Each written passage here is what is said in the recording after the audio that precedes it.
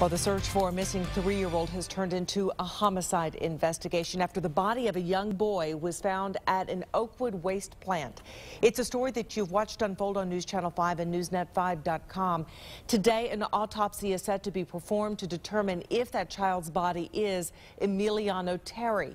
He was first reported missing on Sunday, setting off a massive search. But that search was suspended after the body was found.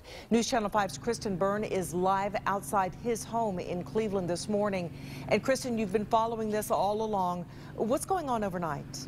Macy, there are a couple of uh, patrol officers out here at Buckeye Road and East 130th. One is on the side of the building, another one guarding an alleyway. Police are working to obtain a search warrant of Camelia Terry's home where she lived with her children. Uh, we're learning that that is expected to happen at some point today.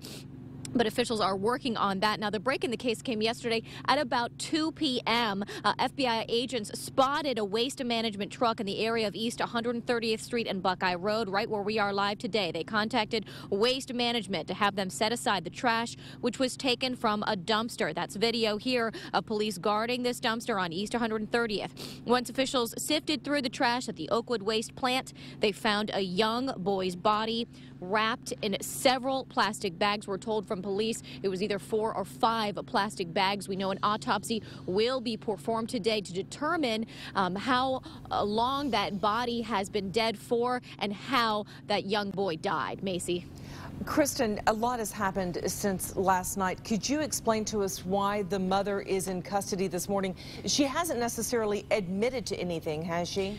No, she hasn't admitted to any crime, but police say that yesterday her story became inconsistent when they were questioning her. Uh, so that is why she is in custody. They say uh, she's the only one they're seeking charges against, and prosecutors are going to meet uh, to determine that. But remember, yesterday, uh, police uh, yesterday morning told me uh, that they did not have any evidence to suggest that a family member was involved. But Macy, it appears that that is changing now.